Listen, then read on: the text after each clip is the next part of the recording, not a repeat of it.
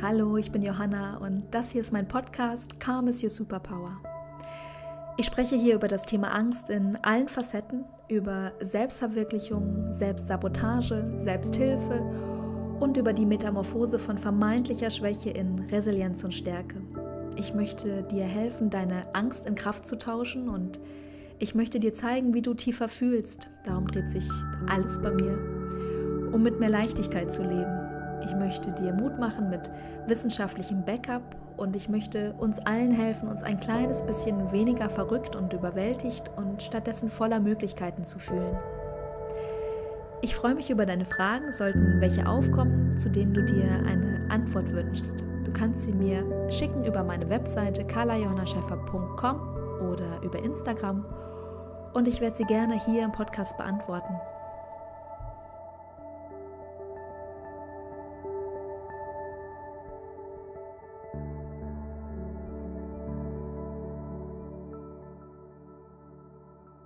In der heutigen Folge geht es um das Thema Schilddrüse in Verbindung mit Panikattacken und Angstgefühlen. Und am Ende möchte ich dir ein paar Tipps mit auf den Weg geben, die du umsetzen kannst, um deinen Hormonhaushalt zu stabilisieren. Kennst du das? Dein Bauch, deine Brust zieht sich zusammen, dein Gehirn arbeitet auf Hochtouren, das unangenehme Gefühl, dass du nicht ganz sicher bist, was du jetzt tun sollst, aber klar ist, dass du etwas tun solltest, um nicht aufzufallen, damit keiner mitkriegt, was gerade in deinem Körper passiert, mit dir passiert. Angst, Panik. Manchmal bekommst du sie mit ein paar tiefen Atemzügen wieder weg und manchmal musst du sie mit Steinen verjagen und manchmal ähm, kannst du sie nur mit einer kleinen weißen Pille in die Flucht schlagen. Natürlich, wenn auch du Angstzustände kennst, möchten uns alle so weit wie möglich von unseren Ängsten wegbewegen. Was normalerweise aber nur dazu führt, dass wir uns mehr Sorgen machen und noch mehr Angst davor haben, ängstlich zu sein, Panik zu bekommen. Wir widersetzen uns der Angst und dem Panikgedanken und ähm, so bleibt es natürlich oder sie bestehen. Ich möchte heute über die Schilddrüse sprechen, die kleine Schilddrüse und was für einen großen Einfluss sie auf Angst und ähm, auf Panikattacken haben kann. Die Schilddrüse ist ein ziemlich kleines Organ im Hals und hat trotzdem einen sehr großen Einfluss auf den Körper, auf die Psyche und eben auf das Gleichgewicht des Menschen. Ähm, tatsächlich das Gleichgewicht, den Gleichgewichtssinn kann sie enorm beeinflussen. So habe ich die Schilddrüse damals kennengelernt, äh, bevor ich was von ihr wusste, nämlich indem sie bei mir mit enormem Schwindel verbunden war. In meiner Prime-Panikzeit, so nenne ich das mal, habe ich Monate damit verbracht, im Bett zu liegen, weil ich keinen weiteren Schritt gehen konnte, weil ich einfach selbst im Liegen das Gefühl hatte zu fallen und ich hatte Panikattacken, die aus dem Nichts zu kommen schienen, nachts, tagsüber, ähm, im Bett, auf der Straße.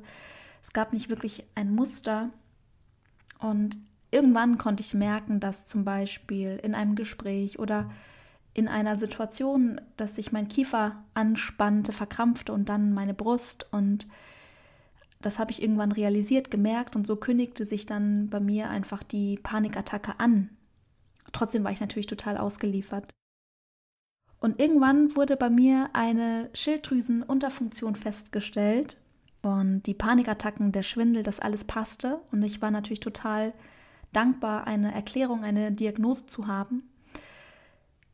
Sowohl die Unterfunktion als auch die Überfunktion der Schilddrüse sind mit psychischen und mit körperlichen Symptomen gekoppelt und beide Funktionsstörungen führen zu einer richtigen Beeinträchtigung der Lebensqualität. Ich konnte in der Zeit nicht mehr wie gewohnt weitermachen. Ich habe mich auch geschämt, weil ich krankgeschrieben werden musste, weil ich Urlaub nehmen musste oder genommen habe, um ähm, einfach Zeit für mich zu haben.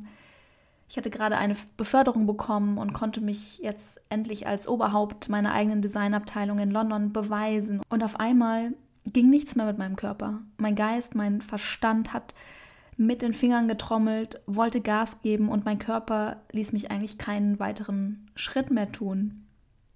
Manchmal sind Symptome einer Schilddrüsenunterfunktion auch eine psychische Lahmlegung. In meinem Fall wollte ich tatsächlich weiter durchstarten vom Verstand her, aber ich bekam eben Panikattacken und starken Schwindel, sodass mein Körper sozusagen das Problem war.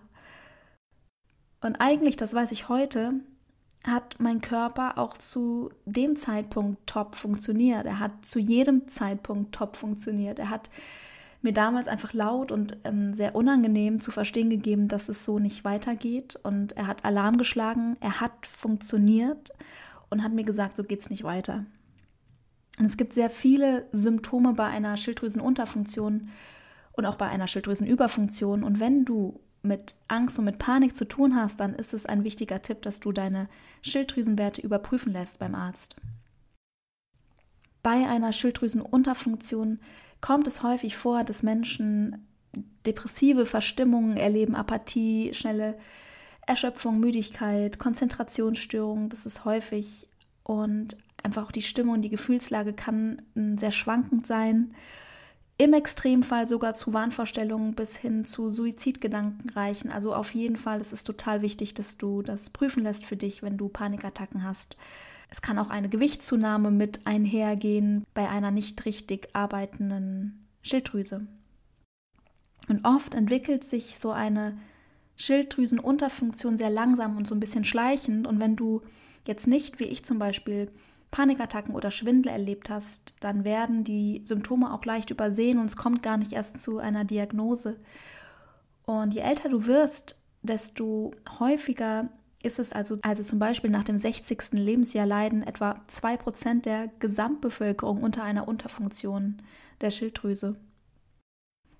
Bei einer Schilddrüsenüberfunktion befinden sich sozusagen einfach zu viele Hormone in deinem Kreislauf. Und oft sind Menschen dann nervös und aggressiv, vielleicht äh, sie sind ängstlich, schreckhaft und es fällt ihnen richtig schwer, sich zu entspannen. Sie schwitzen schnell, haben Schlafstörungen oder Herzrasen oder ähm, zittern tatsächlich auch häufig. Und ja, Müdigkeit, Schwäche, Abgeschlagenheit, das kommt sowohl bei einer Unter- und auch bei einer Überfunktion vor. Aber auch wenn du dann deine Werte prüfen lässt und du hast nur leichte Funktionsstörungen der Schilddrüse, also deine Werte weichen nur leicht ab, dann kannst du auch dann ein, ein höheres Angstempfinden erleben. Ich arbeite ja auch mit Frauen, die eine schwierige Geburt erlebt haben, um dann äh, anschließend Angstgefühle und Angstzustände oder ähm, traumatische Erinnerungen körperlich zu lösen und auch bei ca. 4% der neuen Mütter entwickelt sich eben durch die hormonelle Umstellung nach der Entbindung eine Funktionsstörung der Schilddrüse. Und das kann eben mit Depressionen oder mit Angstgefühlen begleitet sein. Also bei Stimmungsschwankungen und bei Panikattacken solltest du unbedingt deine Schilddrüse untersuchen lassen.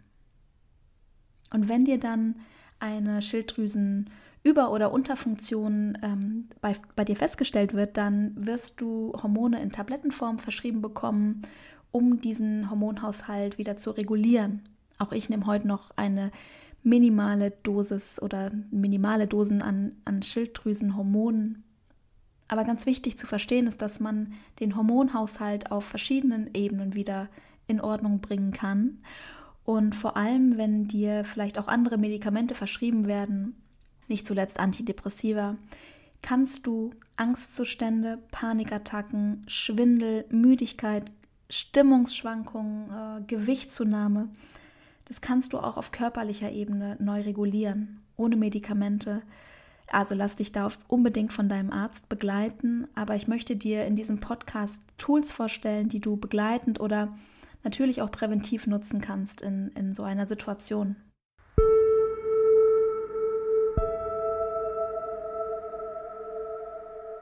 Rund 50 bis 60 Prozent aller Angstpatienten haben eine Schilddrüsenstörung. Und eine gute Einstellung der Schilddrüsenhormone kann Angstzustände reduzieren, aber selbst wenn der Wert dann wieder stimmt, dann kann dein Immunsystem, dein Nervensystem so überfordert sein, dass du die Symptome immer noch weiter erlebst. Und das hat vor allem mit dem Stress-Response-System im Körper zu tun, das Angstzustände und Stimmungsschwankungen und Überforderung auslöst.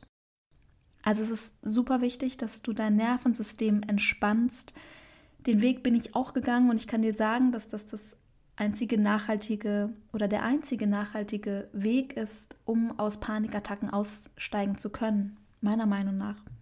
Die Ursache für Panikattacken oder Angstzustände oder Burnout ist im Wesentlichen, dass das Stresssystem im Körper so stark nach oben gefahren ist, dass du dich oder konkreter ausgedrückt dein Körper äh, sich deswegen in einem ständigen Alarmzustand befindet. Vielleicht erlebst du das gerade, dass du einfach vor allem Angst hast oder du hast vielleicht zum Teil irrationale Ängste, du fühlst dich beklemmt, gehemmt, ähm, vielleicht machen dir vor allem soziale Dinge Angst, vielleicht merkst du, dass die Dinge einfach nicht mehr so gehen, wie du sie früher tun konntest. Im Laufe des Tages erlebst du wahrscheinlich Unruhezustände und vielleicht sogar teilweise Herzflattern und Atemnot. Bei mir waren es eben vor allen Dingen die Panikattacken und vor allen Dingen nachts ein großer Faktor, Panikattacken nachts, weshalb ich irgendwann sogar Angst hatte, einzuschlafen. Also erstens lässt du deine Schilddrüsenwerte untersuchen. Es gibt viele Dinge, die du unterstützend tun kannst. Du kannst zum Beispiel darauf achten, dass dein Blutzuckerspiegel stabil bleibt. Das kannst du gut mit einer bestimmten Ernährung regulieren.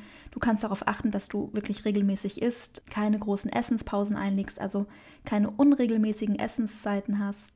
Und du kannst vor allen Dingen frische Lebensmittel, viel Obst, viel Gemüse, viel entzündungshemmende Lebensmittel essen, also zum Beispiel rote und blaue Beeren oder Lachs oder Ingwer, Kokosnuss, grünes Blattgemüse, Walnüsse oder auch probiotische Lebensmittel wie Joghurt oder Miso-Suppe mm, oder Sauerkraut.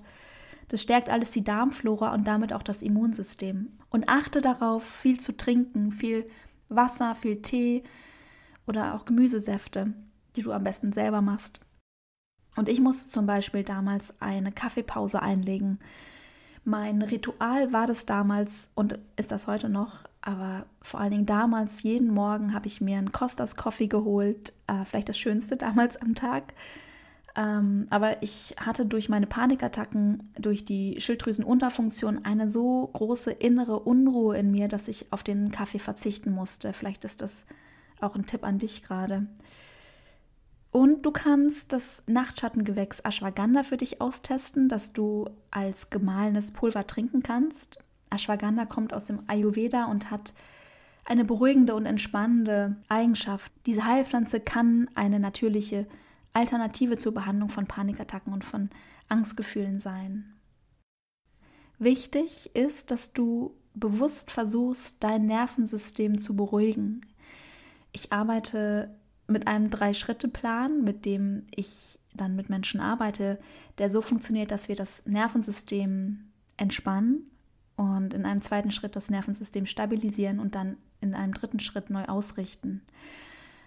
Also versuch Ruhepausen für dich einzulegen, versuch genug zu schlafen, finde eine Methode, die dir hilft zu entspannen. Das ist ganz wichtig, dass du dir Entspannungsphasen, Ruhephasen bewusst einlegst, vielleicht Funktioniert die Meditation bei dir? Ich habe ähm, verschiedene Meditationen im Podcast und es kommen auch noch mehr. Vielleicht helfen dir Atemübungen. Es ist wichtig, den Körper zu entspannen, dein Nervensystem zu entspannen, damit du diese innere Anspannung minimierst. Ich habe ja schon häufig davon gesprochen, dass TRE oder TRE bei mir der Schlüssel war, um meine Panikattacken aufzulösen und diese profunde körperliche Entspannung durch TRE, das Wegzittern der Anspannung und der Stressverspannung im Körper reguliert dein Nervensystem und deinen Hormonhaushalt tiefgreifend. Mehr zu TRE kannst du über meine Webseite erfahren auf carlajohannascheffer.com. Also, zum Schluss ein, ein Gedanke, ein Anstoß. Was, wenn die Angst nicht nur als Angst oder etwas Unerträgliches oder als Fail, als Versagen betrachtet wird oder wenn wir sie nicht als Versagen betrachten, sondern als eine Art Lieferservice oder Messenger der inneren Wahrheit, dass wir den Körper nicht als kaputt oder als unfähig betrachten, so wie ich das vorhin beschrieben habe, mm, wenn er nicht mehr weiter will, sondern jedes Mal, wenn Angst auftaucht, wenn eine Panikattacke auftaucht, sagt unsere Psyche, äh, klopf, klopf, ich muss dir etwas über dich zeigen, das du wirklich sehen solltest.